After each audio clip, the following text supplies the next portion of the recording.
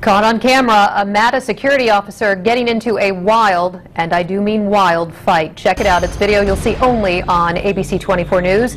The whole thing played out in front of our cameras this evening, just about before 6 o'clock tonight. Happened at MATA's main terminal at North Main and Danny Thomas.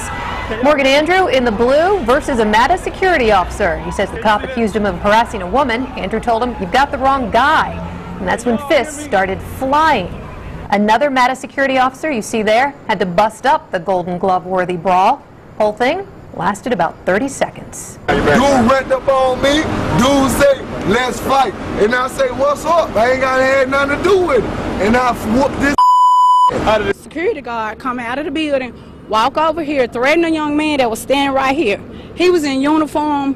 This bus driver said that he was um, off the clock. He goes over here and initially just start fighting.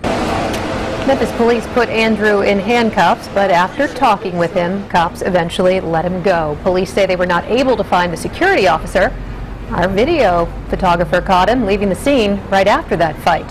His supervisor confirmed he was off duty. MATA tonight is investigating.